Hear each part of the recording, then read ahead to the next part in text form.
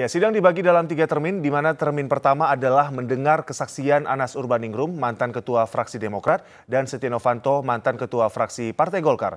Keduanya membantah menerima aliran dana dari proyek KTP elektronik.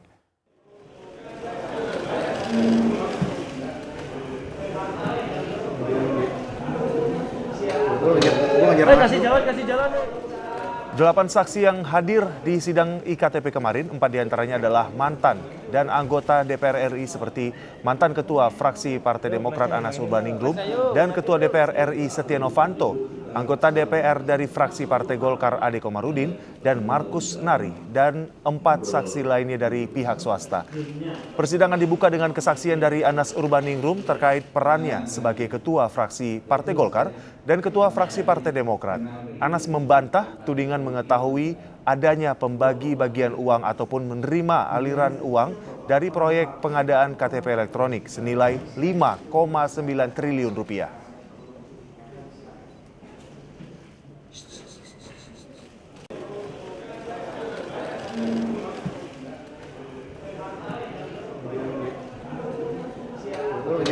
Eh, kasih jalan, kasih jalan. Saya ketua fraksi Partai Demokrat yang mulia. Ketua fraksi. Betul. Kalau ketua fraksi berarti sama dengan Pak Setia Novanto tadi ya. Betul. Itu tidak terkait dengan pembahasan eh, program program pemerintah yang kebetulan dibahas di komisi. Saya waktu itu menjadi anggota Komisi 10 yang mulia. Tidak. Kalau EKTP tadi? Komisi 2. Komisi 2. Yang kedua, saya menjadi ketua fraksi dari bulan Oktober tahun 2009. Oktober 2009 sampai Ya, sejak pelantikan. Ya. Kemudian saya berhenti jadi anggota DPR, menulis surat mundur jadi anggota DPR bulan Juni tahun 2010. Setelah pada bulan Mei 2010 saya terpilih menjadi ketua umum Partai Demokrat. Ya. Jadi saya menjadi anggota DPR Oktober 2009 sampai Juni 2010. Ya. Kami kebetulan konsen terhadap masalah EKTP, Saudara Anas. Baik, Yang Mulia. Ketika itu mendapat pembahasan katakan pembahasan legislatif di Komisi 2 tempo hari, apa yang Saudara ketahui? Tentang program IKTP ya. yang saya tahu adalah bahwa ini program atau kebijakan pemerintah untuk memperbaiki administrasi kependudukan nasional. Karena itu perlu modernisasi. Nah, itulah yang kami tahu dan memang ada eh, arahan dari Ketua Dewan Pembina Partai Demokrat, kebetulan waktu itu Presiden Republik Indonesia, agar setiap kebijakan dan program pemerintah didukung oleh fraksi Partai Demokrat dan fraksi-fraksi Partai Koalisi. Itu yang eh, menjadi pengetahuan saya tentang kebijakan ini. Yang saya tahu adalah kebijakan dan programnya, tetapi pengadaannya saya tidak tahu sama sekali yang mulia. Ya. Kalau soal penganggaran, penganggaran program IKTP itu, kemudian pembahasannya di badan legislatif, Anda pernah mengikuti? Tidak, Yang Mulia. Tidak. Atau memberi pesan-pesan tertentu kepada fraksi saudara pada waktu itu? Tidak, tidak ada pesan tidak khusus, tidak ada uh, atensi khusus karena memang waktu itu tidak ada laporan-laporan yang membutuhkan atensi khusus. Iya. Lagi-lagi konsen kami soal duit yang terkait dengan program IKTP itu. Baik, Yang Mulia. Pertanyaan berikut. Apakah terkait dengan program IKTP ini Anda pernah menerima sesuatu? Tidak, Yang Mulia. Konkretnya uang? Tidak. Tidak. Kami ada sumber informasi yang mengatakan bahwa Anda mendapat. Apa tanggapan Anda mengenai ini? Itu bukan fakta yang mulia. Itu e, keterangan fitnah saya kira. Fitnah. Betul. Itu fiksi dan fitnah. Kelihatannya Anda begitu yakin tentang Sangat itu. yakin yang mulia. Ada sumber saya kira tak perlu saya sebut namanya, Baik. yang menyebut bahwa aliran uang itu antara lain terkait dengan pelaksanaan kongres Anda pada waktu itu di Bandung.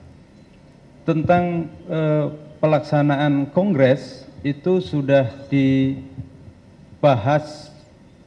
dengan sangat detail pada kasus saya sebelumnya yang mulia. Ya.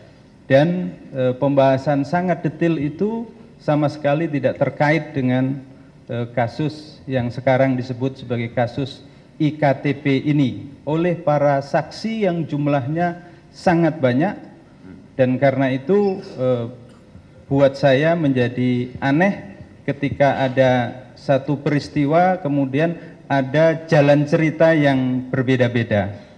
Ya, tapi artinya begini Saudara Anas, kita bersidang sekarang ini. Baik yang mulia. Artinya diharapkan Anda sementara melepaskan diri dari kajian detail yang Saudara maksudkan dalam kasus Saudara tadi. Pertanyaan saya, apakah Anda tahu bahwa ada aliran uang yang mengalir ke pelaksanaan kongres Saudara pada waktu itu? Kalau dari IKTP saya pastikan tidak ada yang mulia. Tidak ada ya. Ya, betul. Yakin Pak ya? Yakin. Kalau lagi-lagi kalau ada yang menyebut ada jelas mengalir dan itu dikait-kaitkan dengan pe- pembiayaan penyelenggaraan kongres itu bahkan dengan sebutan yang detail untuk katakanlah pembayaran hotel dan lain sebagainya. Anda pernah dengar hal seperti ini? Justru hal-hal yang detail seperti itu sudah eh, disampaikan di persidangan sebelumnya disertai dengan bukti-buktinya uang itu datang dari mana, kemudian dibelanjakan untuk apa, jumlahnya berapa, kemudian saksinya siapa saja itu sangat lengkap yang mulia. Ya. Jadi tetap tidak ada ya. Tidak ada yang mulia. Kalau hal seperti itu Saudara Anas ya, kebetulan saya awam betul mengenai partai. Baik. Kalau katakanlah sebuah partai menyelenggarakan satu kongres, itu biasanya soal perencanaan pembiayaannya dibicarakan lebih dulu. Kongres itu tentu, kongres sebuah partai itu ada steering komitenya, Ya. kemudian ada organizing komitenya. Hal-hal yang bersifat substantif materi-materi kongres itu tugas SC. Hal-hal teknis penyelenggaraan itu tugas OC, tugas panitia penyelenggara. ya. Menyangkut pelaksanaan kongres Bandung tadi, itu soal pembiayaannya bagaimana? Yang Soal- saudara pahami.